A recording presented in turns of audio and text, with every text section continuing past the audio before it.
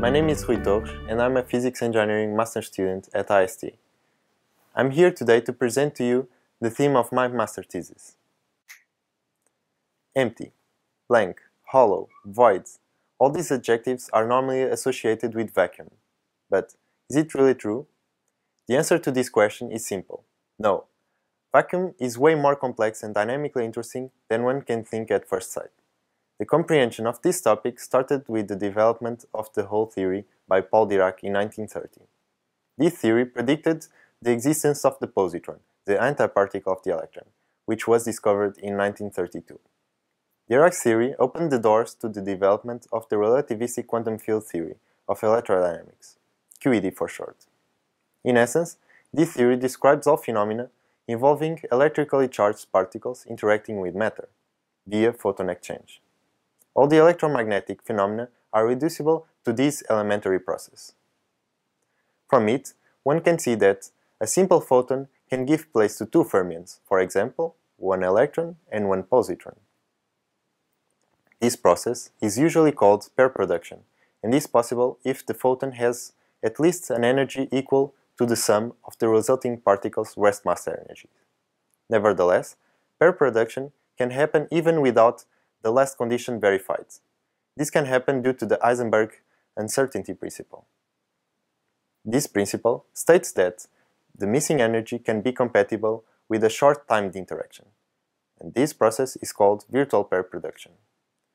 In 1934, Heisenberg came up with the idea that quantum fluctuations of vacuum due to virtual pair production lead to nonlinear vacuum, or quantum vacuum. The effects in the classical vacuum with the inclusion of these fluctuations were calculated by Heisenberg and Euler. They only included the lowest order contribution to virtual pair creation represented by this process. It is important to remark that, as these processes are limited by the time determined by the uncertainty principle, then these virtual particles don't exist for long times, and so we recover the vacuum by their recombination. More interestingly, these corrections can be included in a polarization and a magnetization of the vacuum medium, polarizing it. One can see that the classical vacuum is represented by the case where these new terms are zero, and so we recover the standard Maxwell's equations. These modifications lead to the conclusion that quantum vacuum behaves like a medium, different from the classical vacuum as we are used to modifying the way that light propagates in it. And this effect is called vacuum birefringence. However, these corrections are really small, and so one expects this to be non-negligible only in high-field regions. For instance, near neutron stars. A wave propagating in a static field background could deduce the effects of the quantum vacuum. However, it is really difficult to achieve such high static field intensities with the present technologies. To solve this problem, one reaches for lasers. Recently, the development of laser technologies enabled peak intensities capable of probing quantum vacuum. To do so, one propagates a probe pulse, which is going to represent the light wave in which we want to detect the nonlinear effects, against a pump pulse, which is going to deliver an electric field intense enough to induce these effects. Nowadays, there are some experiments with lasers that plan to achieve such high intensities. This is an excellent opportunity to study these setups, providing simulations that mimic reality with high precision.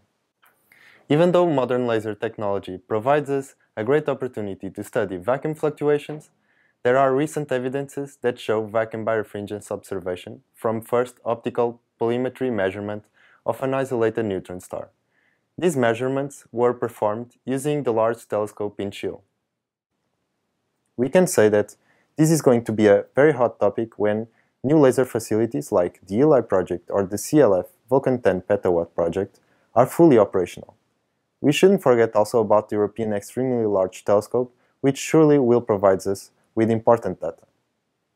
This is why this thesis project is really important, giving us the ability to fully understand the phenomenology and the implications of quantum vacuum, enabling us to plan a real experiment and achieve the results predicted by our simulations. In it, we will extend a pre-existing two-dimensional code, as well as adding realistic features to the simulations in order to bridge the gap between simulations and reality. Before finishing this video, I would like to thank a lot my group, GOLP, for the outstanding working conditions that enables their members to continuously raise the bar.